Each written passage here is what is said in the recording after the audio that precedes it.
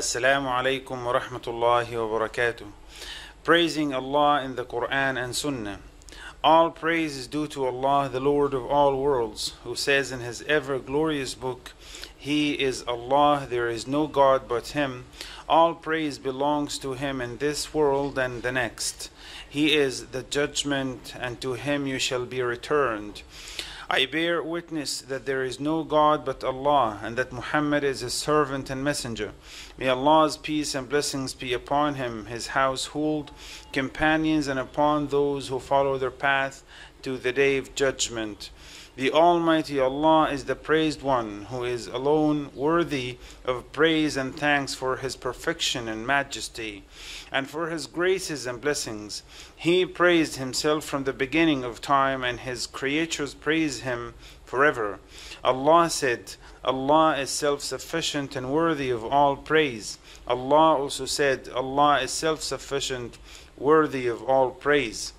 When reviewing the Quran, one finds that Allah has started five surahs of the Quran with praise due to its great reward.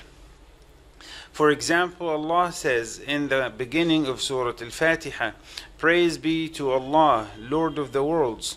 Surah Al An'am starts with Praise belongs to Allah who created the heavens and the earth and made darkness and light. Yet the disbelievers set up equals to their Lord. In the beginning of Surah Al Kahf, Allah says, Praise be to Allah who sent down the scripture to His servant and made it unerringly straight. Also, Surah Saba starts with Praise be to Allah to whom belongs all that is in the heavens and earth, and praise be to Him in the life to come. He is all the wise, the all aware. Also, Surah uh, Fatir starts with Praise be to Allah, creator of the heavens and earth, who made angels, messengers with two, three, four pairs of wings. He adds to creation as He will. Allah has power over everything. The Almighty Allah also concluded four chapters of His glorious book with praise. At the end of Surah As-Saffat, Allah says, And praise be to Allah, the Lord of all the worlds. Also at the end of Surah Al-Isra, Allah says, And say, Praise belongs to Allah, who has no child, no partner in His rule. He is not so weak as to need a protector. Proclaim His limitless greatness. Surah Az-Zumar ends with true judgment will have been passed between them and it will be said praise be to Allah the Lord of the worlds also Surah An-Naml ends with say praise belongs to Allah. He will show you his signs to that you will recognize them. Your Lord is never unmindful of what you all do. Praising Allah is one of the most important forms of mentioning the name of Allah, dhikr, by prophets. The Almighty says about Prophet Noah, when you and your companions are settled on the ark, say, Praise be to Allah who delivered us from the wicked people. Allah reported the statement of Prophet Abraham saying, Praise be to Allah who has granted me Ismail and Isaac in my old age. My Lord hears all requests. Allah also said, we gave knowledge to David and Solomon, and they both said, Praise be to Allah who has favored us from many of His believing servants. In addition, praising Allah is also the continued practice of the close angels, as the Almighty Allah said, You, Prophet, will see the angels surrounding the throne, glorifying the Lord with praise. True judgment will have been passed between them, and it will be said, Praise be to Allah, the Lord of the worlds.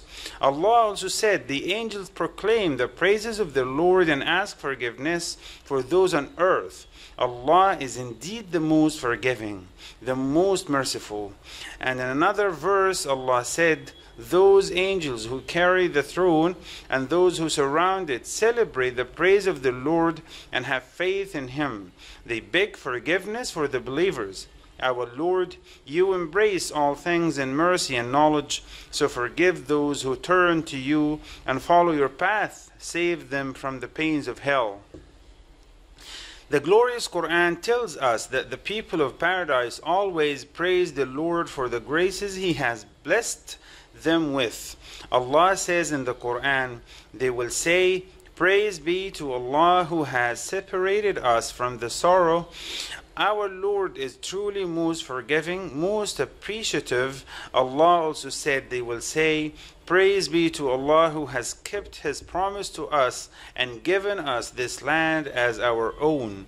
Now we may live whenever we please in the paradise. How excellent is the reward of those who labor.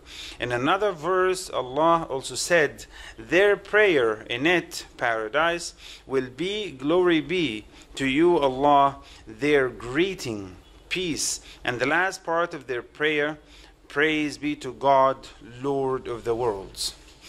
All praise is due to Allah, Lord of the worlds. May Allah's peace and blessings be upon him, his family, companions, and whoever follows their, their guidance to the day of judgment.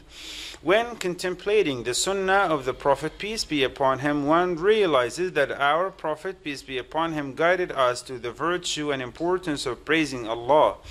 As our Prophet, peace be upon him, said, purity is half of Iman, faith. Alhamdulillah, all praise and gratitude belong to Allah. Fills the scales. And subhanallah, how far is Allah from every imperfection? And Alhamdulillah, all praise and gratitude belong to Allah. Fill that which is between heaven and earth. The Prophet, peace be upon him, also said, He who recites in the morning and in the evening the statement Subhanallah wa bihamdihi Allah is free from imperfection and I begin with praising him 100 times will not be surpassed on the day of resurrection by anyone with better deeds that, than one who utters the same words or, or utters more of these words. Allah the also the prophet peace be upon him said there are two statements that are light for the tongue to remember, heavy in the scales, and are dear to the merciful. Subhanallah wa bihamdihi, Subhanallah al-Azim. Glory be to Allah, and His is the praise, and Allah, the greatest, is free from imperfection. Also, our Prophet, peace be upon him, taught us to pray Allah, to praise Allah in all cases and in all circumstances. The Prophet, peace be upon him, said, Allah is pleased with his slave who eats a meal and praises him for, for, for it, and takes a drink and praises him for it. Also, our Prophet, peace be upon him, taught us to say, Praise be to Allah who has clothed me with this garment and provided it for me. Though I was powerless myself and incapable in another hadith, the Prophet, peace be upon him, said, When a man's child dies, Allah the Exalted asks his angels, Have you taken out the life of the child of my slave? And they reply in the affirmative. He, glory be to him, then asks, Have you taken the food of his heart? And they reply in the affirmative. Thereupon he asks, what did my slave say? They say, He praised you and said, Inna lillahi wa inna ilayhi raji'un. We belong to, to Allah and to Him we shall return. Allah says, Build a house for my slave in the paradise and name it Baytul Hamd, the house of praise. O Lord, make us among those who praise you. We ask Allah to protect Egypt and raise His flag high among all countries of the world.